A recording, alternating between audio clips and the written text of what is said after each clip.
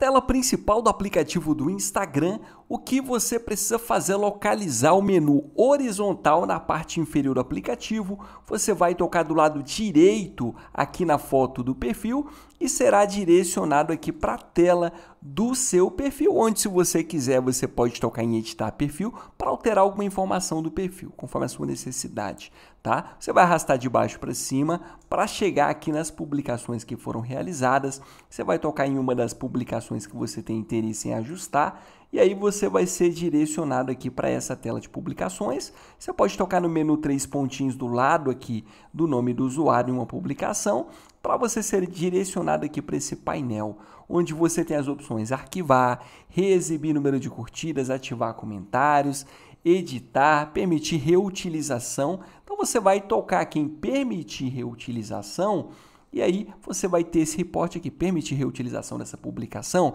permita que qualquer pessoa crie um reel ou um story e inclua toda ou parte dessa publicação e baixe o reel ou story resultante.